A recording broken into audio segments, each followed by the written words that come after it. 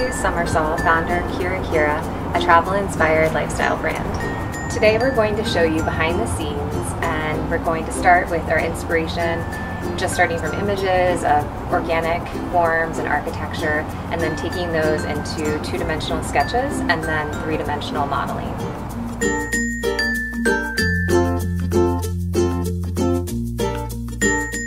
My name's Natalie and I'm one of Kira Kira's interns and I primarily focus on graphics design and marketing projects.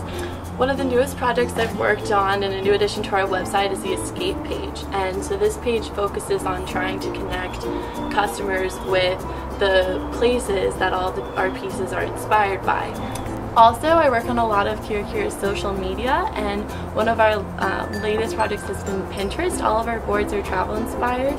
Hi, I'm Katie Bergio. I'm an intern here at Kira.